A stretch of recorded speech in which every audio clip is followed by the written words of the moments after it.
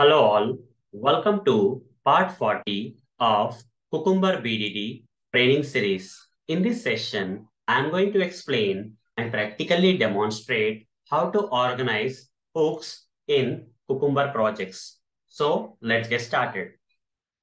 Till the previous sessions, we have put the hooks methods into the respective step definition files or Java files, right? So you can provide anywhere Okay. If your project consists of multiple step definition Java files, in any of the Java files, you can go and write or create the hook methods. Okay. At the rate before, at the rate after annotated hook methods you can create or at the rate before step, at the rate after step hook methods you can create or multiple at the rate before, at the rate after hook methods you can create in any of the step definition Java files. Okay. But is it recommended? Yeah, it's okay. If you remember that in so and so uh, step definition file you are writing, that's okay if you remember that. But as per the industry standards and all, uh, like uh, the real time, how the people actually, where actually the people put the hook methods into, okay? They don't put into the respective or individual uh, uh, Java files. Rather, they put that into another separate Java file that I'm going to cover in this session, guys. And also we need to update the runner class for doing that, okay? So let me uh, quickly switch to this uh, Eclipse ID so that I can explain you and practically demonstrate how to properly organize the hooks into the in the Cucumber projects. Okay, so let me switch to the Eclipse ID here like this. And instead of uh, going into any of the step definitions, either login or register or such as for this uh, project that I have created so far, instead of going into this and creating that hook methods, I have removed guys. Okay, in one of the previous sessions, I have removed the hook methods. Here we don't have any at the rate before and at the rate after anywhere inside this uh, step definition files. Okay, you see, nowhere it is there. Earlier we have put under such register kind of things. Okay, we have removed them. For now, we have removed them. So what I'm going to do now is here, guys, instead of putting them into the respective or uh, in any of the uh, step definition uh, step definition uh, definition files, okay, step definition Java files, instead of putting into them, what I'm going to do is I'm going to create a separate package. I'll just name this package as, you can just name it anything guys. I'll say hook simply. Okay. And here I'll right click and say new class. I'll create a class known as, uh, you can give any name guys. Okay. I'll just, I generally prefer to give my hooks, uh, my, I mean, my hooks I'll, I'll prefer to give. Okay. My hooks. You can give any name. No problem. Okay. Any package name, any name you can give. Okay. So like this you create and click on finish guys. This uh, my hooks class will be created. In that I'll create a method. Generally we'll create uh, before and after uh, annotated hook methods for setup and tear down methods, right? I'll first create a setup method and uh, I'll annotate this with uh, at the rate before.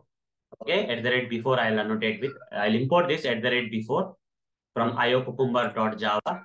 Okay, here I'll write system.out.println and I'll double quote and say double greater than symbol. Here I'll write uh, opening. I'll say launching the browser. Okay, launching the browser or something. I'll write something guys here. Okay, then setup. I'll say launching the browser. Okay, and maximizing it. Launching the browser and maximizing. Otherwise, I'll write the browser got launched. Browser got launched and maximized. Uh, then we can still write some more stuff like another print statement I'll write if required. Okay. Uh, application URL got opened. Application URL got opened in the browser. Okay.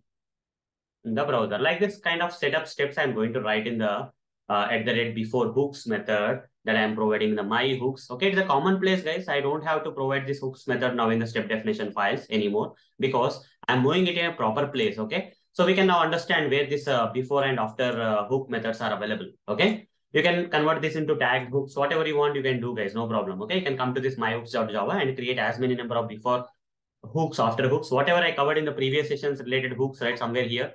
Uh, you see hooks, tagged hooks, before step, after steps, hooks, multiple hooks and their order, hooks and value attribute. All this knowledge you should remember guys. Okay. So that you can understand what I'm trying to cover in this section. Okay. So here I'll write one more method public void tear down I'll say. Okay, public void tear down I'll say, and I'll write at the rate after guys, at the rate after. I'll import this at the rate after from iocucumber.java and here I'll write system.out.println I'll say browser got closed. Okay, browser got closed. Uh, we can also write one more step here if required, or we can separate this into multiple before methods. Okay, I'm right only writing one hook method here. You can have multiple before methods, and in one method we can say browser got launched and maximized. Another before method, uh, we can say application URL got opened in the browser. We can say, or we can put a single method and you can print it out. That's okay. For now, only one one I'll take and not make it complex. Okay, so uh, logged out from the application, logged out from the application, and finally application browser, uh, browser got closed. Okay, these what are the after hook uh, steps. So save all. Okay, let's see whether this will be working fine or not. So to make these hooks applicable for this uh, step definitions and all, the, for this hook methods to run before and every uh, after every scenario of this uh, feature files, what we have to do is we have to do small changes to the runner class. Open the test runner and here, what you have to do is in the glue, we only provided the step definitions here. Okay. Along with that, just provide this, uh, what you can say, some curly brace you provide here, guys, curly brace here for this uh, attribute. For the value, provide this particular single value in the curly brace. Since we have to provide multiple values, just provide curly brace and put a comma and say again double quotes here. Provide the name of the package under which myhooks.java is available. there is hooks package. Simply provide hooks, guys. You don't have to do much. Like we have provided step definition package here, we are providing the hooks package. That's it, nothing much. Okay. Feature files are already there here under SRC test resources. Complete path is there. Okay. All tags. That means all the scenarios in all the feature files will run because of it, the rate all and pretty and all those things you already know. Okay. Now the changes are here. Okay. Comma hooks are the changes. And here in my hooks, we provided uh, this edit the rate before, edit the rate after, and linked it to the runner. Now this before and after hooks methods will be running for each and every scenario of this feature file guys okay so right click uh, run as we'll see that okay uh, if you want to give a different uh, symbol otherwise just to identify that you can say plus plus here okay just give plus plus guys so that you can understand uh, greater than greater than are coming from the step definition implemented methods right step definition files implemented methods right so let's give uh, here plus plus and here minus minus I'll give so that you can identify after hooks also before hooks will contain plus plus after hooks will contain if if they if they got invoked means uh, this minus minus symbols along with this text will be printed in the output console. Just to make uh, difference, I am writing these different symbols here.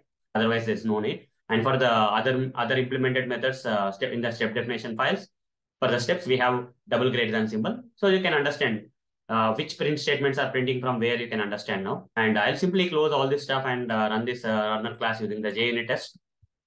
Using JUnit, I'm running guys. You will see that what's happening. Uh, the main thing is output, guys. Output, you see, for every scenario, before every scenario, before hook methods will be running. You see, plus, plus, plus, plus. Browser got launched and maximize application URL got opened in the browser. And then user got navigated to the login page. User has entered valid and all the stuff. Finally, logged out from the application.